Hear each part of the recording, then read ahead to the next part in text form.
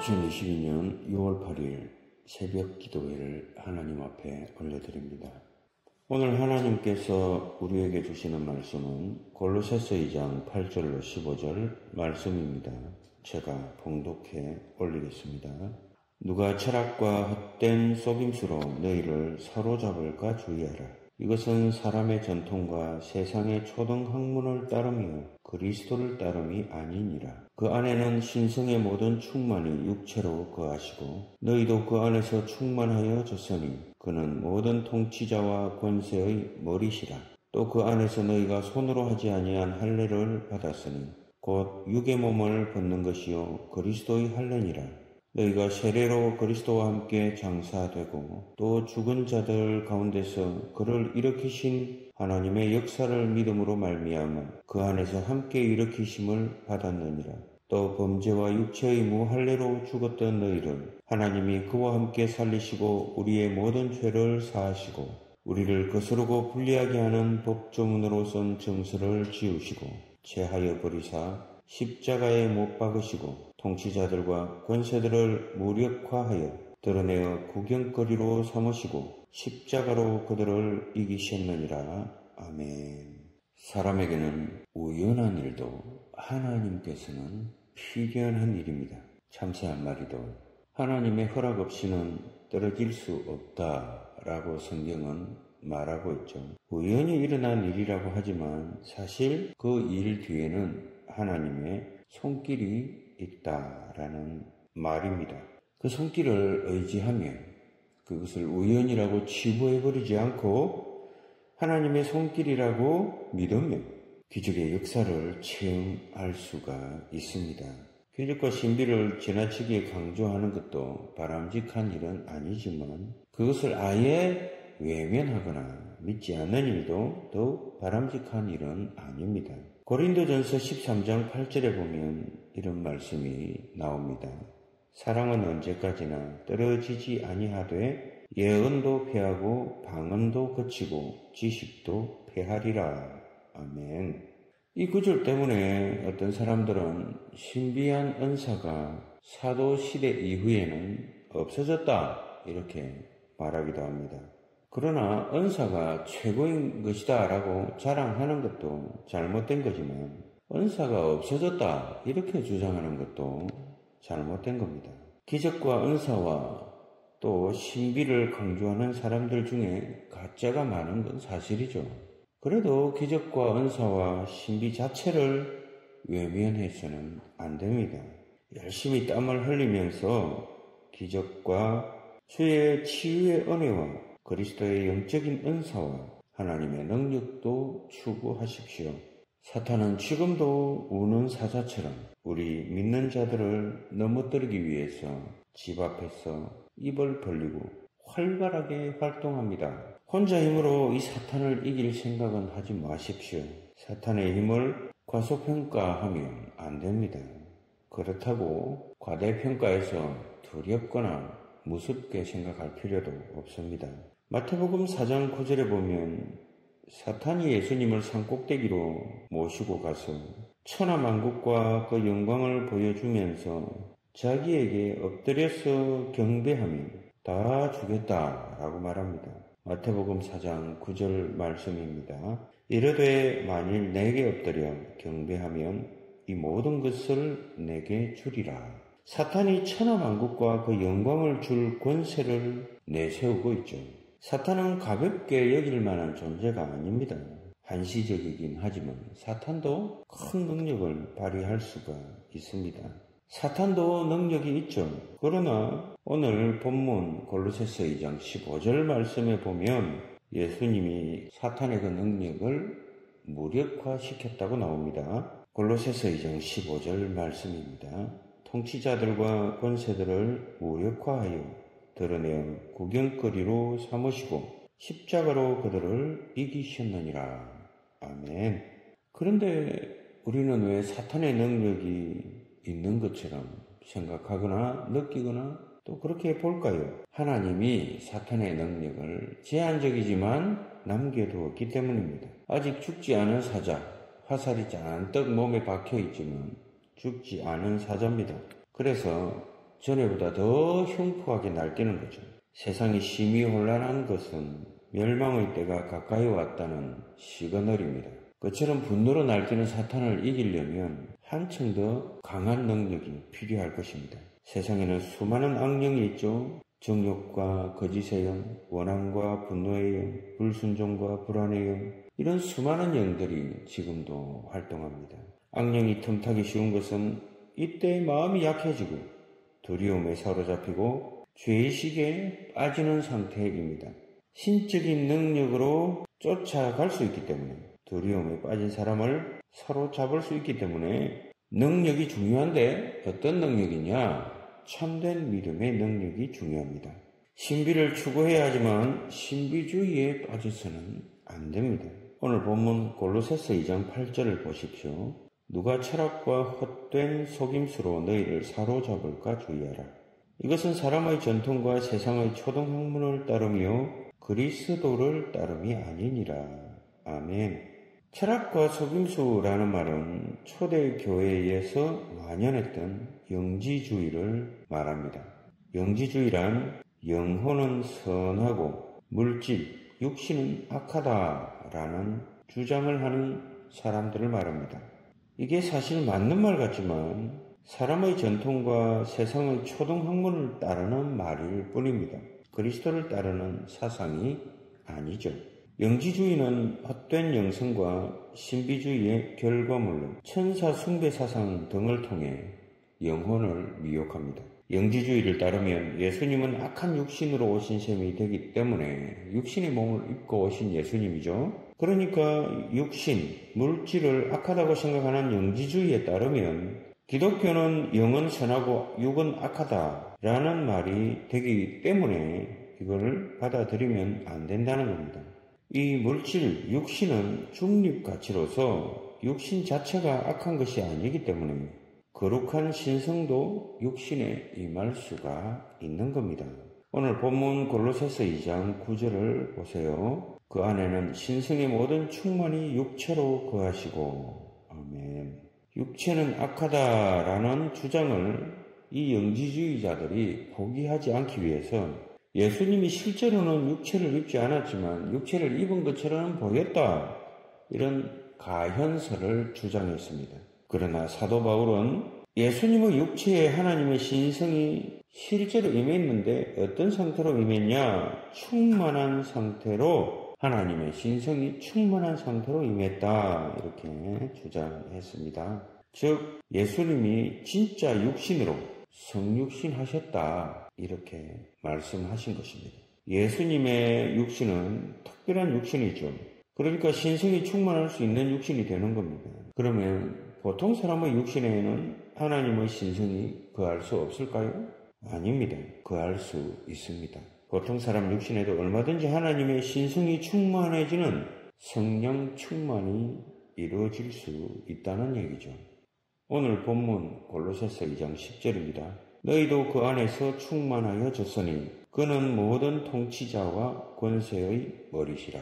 아멘. 성도도 하나님의 신성으로 충만한 상태, 즉 성령 충만한 상태가 될 수 있습니다. 단, 그렇게 되려면 예수님 안에 있어야 한다는 거죠.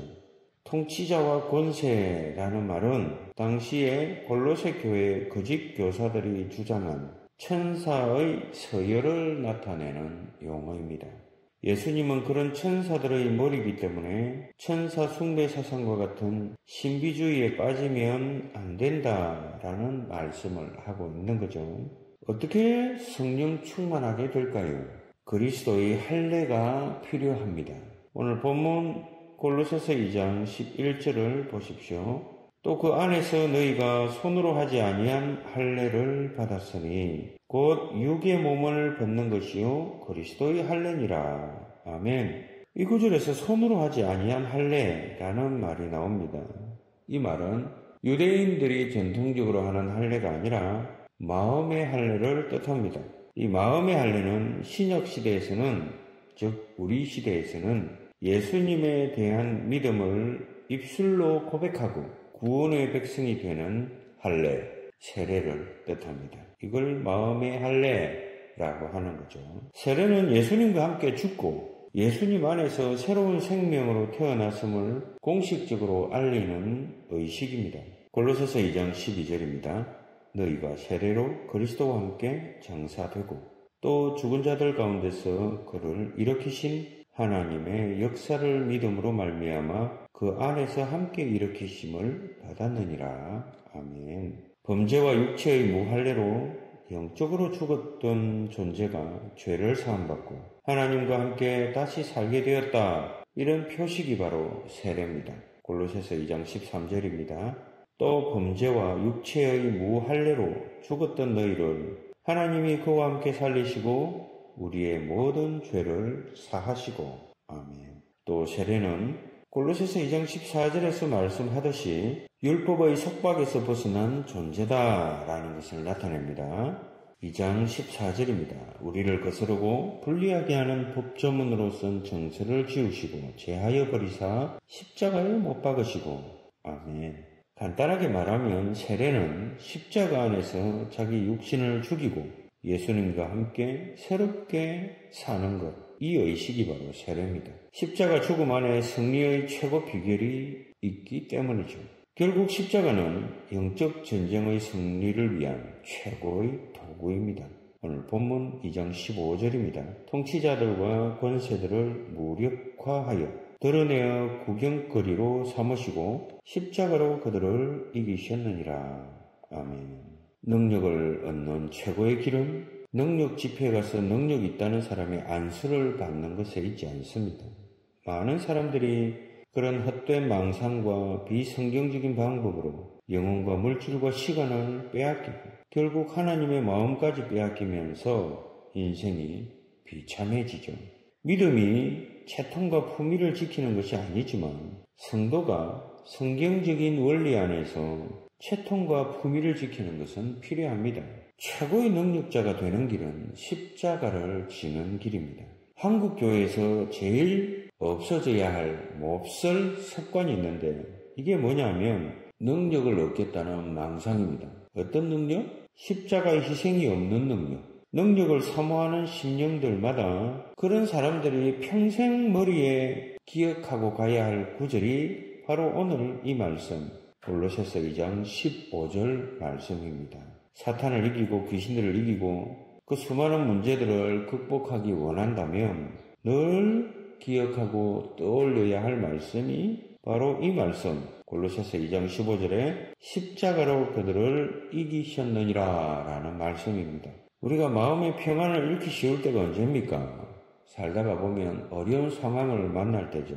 그때 예수님의 십자가를 깊이 묵상하면 고통이 사라지고 상처가 씻기고 평안이 생깁니다. 전능하신 하나님이 우리를 위해 대신 십자가를 졌다는 그 사실 얼마나 큰 힘과 위로가 되는지 모릅니다. 이처럼 십자가는 우리 힘과 평안의 원천이며 소중한 영적 자본이기도 합니다. 절망의 눈으로 보면 길이 안 보여도 희망의 눈으로 보면 반드시 극복할 수 있는 길이 있습니다. 이런 메시지를 가장 강력하게 주는 것이 바로 십자가입니다. 그래서 십자가를 생각하면 깊은 평안이 도래합니다.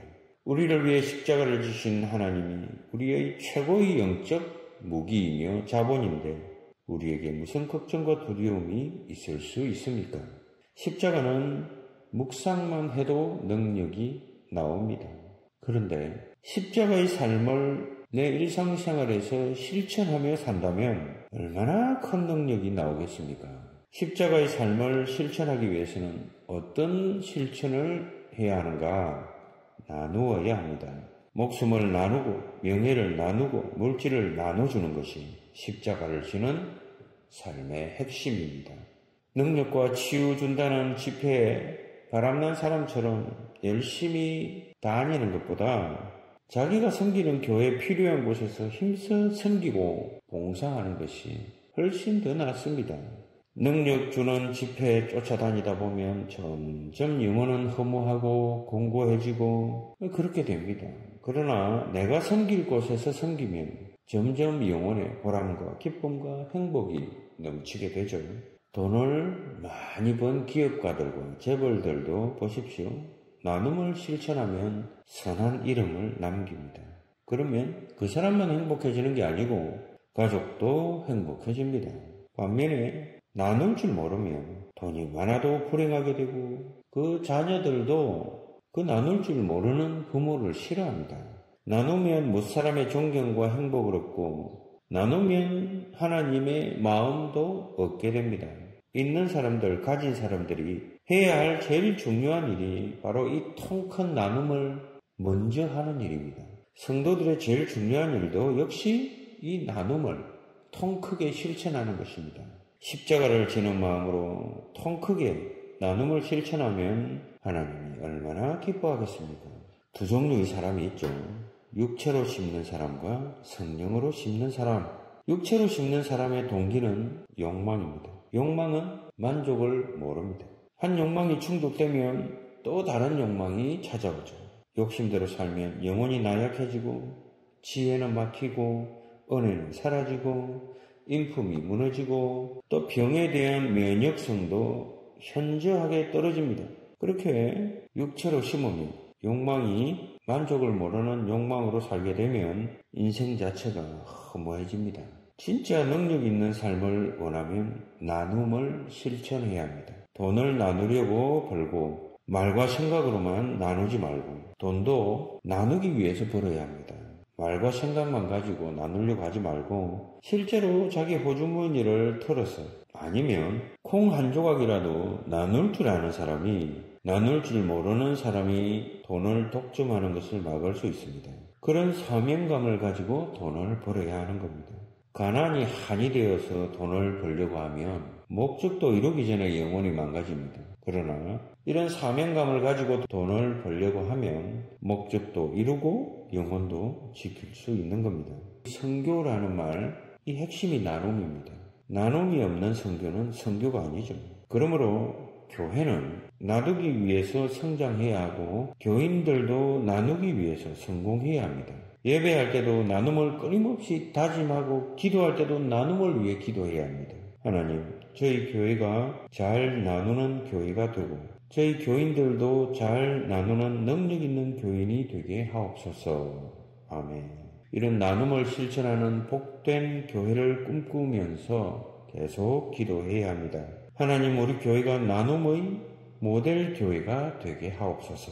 뜻 있는 사람과 연결되어 통 큰 나눔의 통로가 되게 하옵소서. 나눔은 건강과 은혜와 행복의 기초입니다. 그처럼 나눔을 통해서 십자가를 지려고 할 때 하나님은 그를 가장 능력있고 복된 인생으로 만들어 주실 겁니다. 오늘날 많은 성도들이 신앙생활을 하면서도 얼굴에는 그늘이 져 있습니다. 왜 기쁨을 찾지 못할까요? 예수님을 바라보고 십자가를 져야 하는데 자꾸 교회 안에 있는 사람을 보고 교회의 환경을 바라보고 그러면서 십자가를 피하기 때문이죠. 늘 주님만 바라보고 예배와 기도와 사랑과 성교의 씨앗을 충실하게 뿌리기 바랍니다. 그처럼 사람들이 알아주지 않아도 오직 주님만 바라보고 십자가를 쥐고 충성함으로 많은 열매를 맺고 그 열매를 잘 나눔으로 큰 기쁨과 보람과 평안을 얻는 그런 복된 심령들이 되기를 예수 그리스도 이름으로 축원드립니다. 아멘. 기도드리겠습니다. 하나님 아버지 십자가로 이기는 삶을 주시니 감사드립니다. 오직 십자가만 바라보고 살아가게 해 주시옵소서. 예수 그리스도 이름으로 기도드립니다.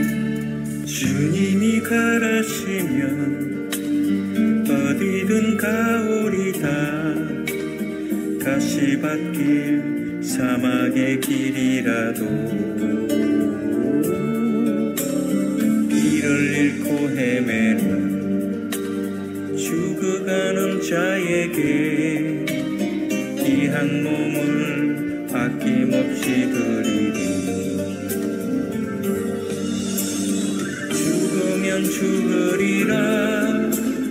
죽으면 죽으리라. 내 생명